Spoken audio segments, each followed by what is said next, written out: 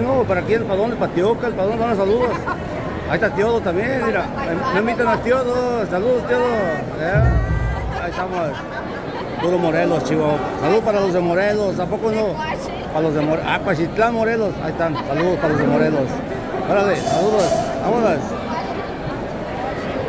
Aquí vamos a grabar las comidas.